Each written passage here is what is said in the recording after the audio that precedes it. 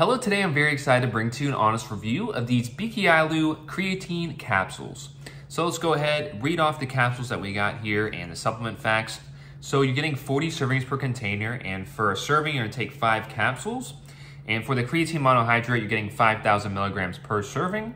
And the other ingredients includes gelatin capsules, magnesium stearate, and that's all. This is also non-GMO, GMP compliant, lab tested, and gluten-free supplement here. And I've been going to the gym, I'd say about three times a week. So I picked up some creatine. I take this every single day. Uh, after my biggest meal. And it says here on the bottle that it supports muscle, strength, performance, energy, and recovery. So that is very helpful for me in the gym. And I've definitely noticed a difference with my strength. I'm able to lift a lot more weight for longer as well. So I like that about this supplement right here. So let's go ahead and show you the capsules that you get. So this is what the capsule's looking like right here. Not too big at all. Very easy to take. I'll go ahead and take one on camera. But like I said, for a serving, I'm take five of these.